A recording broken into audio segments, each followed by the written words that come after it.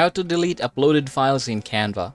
Deleting uploaded files in Canva helps you keep your workspace organized and decluttered, making it easier to find and work on the designs that matter most to you. So the only thing that you're going to need is click this one here. We have uploads. Now once you click this one, you will be able to see images, videos, and of course audio.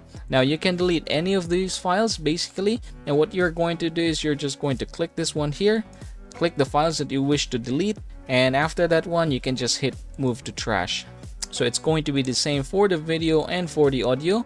Say for example you can just click this one and then hit delete. All right now something like that. Now once you're done you can just click home.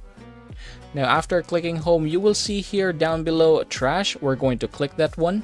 Alright, so we have here designs, images, as well as videos that we want to delete. Now the only thing that you're going to do is click this one here and click this delete permanently. So the same thing here. So we have this.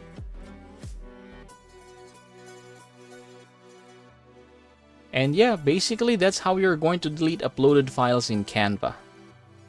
As always, please don't forget to subscribe to the channel and leave this video a like if this helps you out.